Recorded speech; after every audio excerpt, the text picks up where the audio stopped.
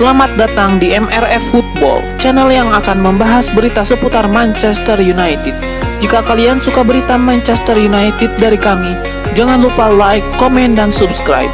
Dan juga nyalakan tombol loncengnya, agar kalian bisa tahu berita Man United terupdate dari kami. Terima kasih, Glory Glory Manchester United.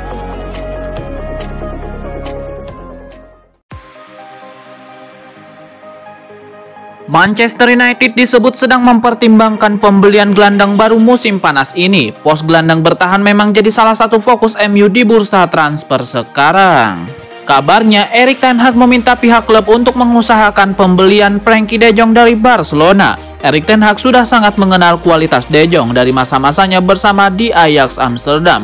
Kini MU diminta mempertimbangkan kembali sosok Ruben Neves mungkin lebih cocok untuk setan merah. Ruben Neves sudah beberapa tahun membela Wolverhampton di Premier League, jadi dia punya keunggulan karena sudah berpengalaman bermain di liga. Tidak perlu lagi beradaptasi. Selain itu, keunggulan Neves juga ditegaskan oleh Tony Cascarino, analis Premier League. Menurutnya, Ruben Neves jauh lebih cocok untuk kebutuhan MU di lini tengah. Kekurangan MU di lini tengah memang sudah lama dibicarakan. Cascarino tahu betul bahwa setan merah tidak punya gelandang yang cukup bagus untuk mengontrol permainan dari lini tengah. Kaskarino bahkan menilai bahwa kualitas MU masih sangat kurang di lini tengah.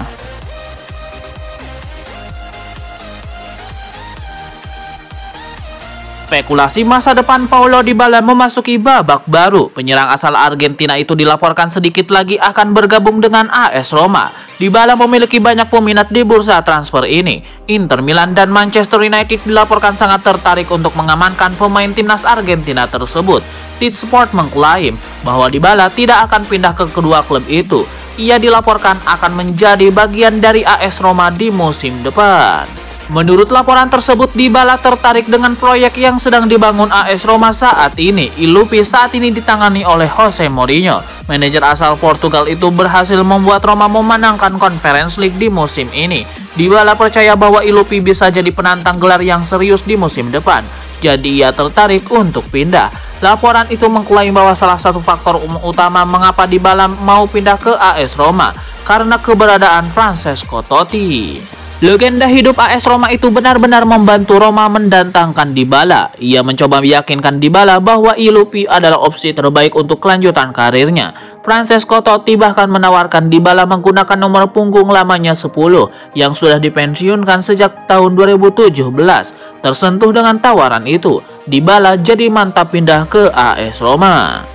Di musim 2021-2022, Dybala kerap absen di skuad Juventus karena cedera, namun performanya tergolong masih cukup oke. Ia berhasil mengemas total 15 gol dan 6 assist bagi sinyonya tua di semua kompetisi.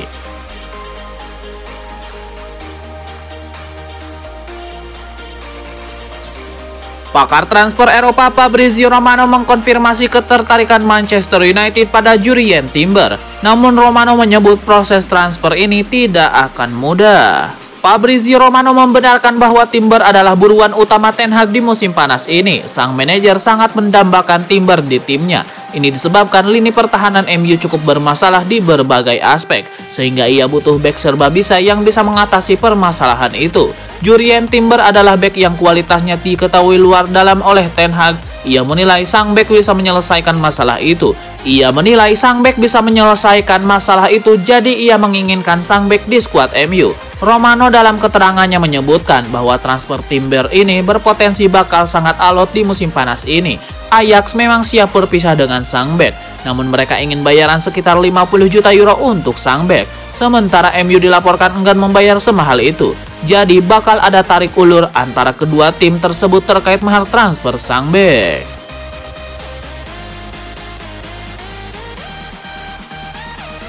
Mantan striker timnas Uruguay Diego Forlan berusaha menjadi mak comblang dengan menjodohkan Manchester United dengan striker Benfica Darwin Nunes. Ada sejumlah pemain menyerang yang menonjol permainannya di Eropa pada musim ini. Salah satunya adalah Darwin Nunes. Ia menggila bersama Benfica. Ia tidak cuma tajam di Liga Portugal tapi juga di pentas Liga Champions. Musim ini ia tampil sebanyak 41 kali di semua ajang kompetisi dan mengemas 34 gol, 26 gol di Liga dan 6 lainnya di Liga Champions.